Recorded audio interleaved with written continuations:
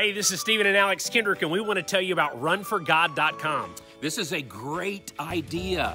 Running a 5K race, preparing to do it while you're studying God's Word. You know, there's so many correlations between the spiritual walk and learning how to run a great distance. And I- I've run a 5K before. You I've run the right 5K You got to prepare the right way, and it's a lot like learning and growing to walk. I think about Hebrews, talking about run the race that's set before us. I think about 1 Corinthians 9, about run to win. Uh, but I think about spiritually, not only physically getting in shape, but for us to get our hearts right with the Lord and to fall right. more in love with Him. Alex, that it, it, it's ironic that this lines up with Overcomer, our It, new it film. does. So we have a film coming out called Overcomer that is a running movie. It's about a cross country race. It's very very exciting. Who's running a 5K Yeah. in the race? Yeah, yes, he's running a 5K. So this is what Run for God is. Over a 12-week course, you'll do the 5K challenge, even for people who have never run a 5K before.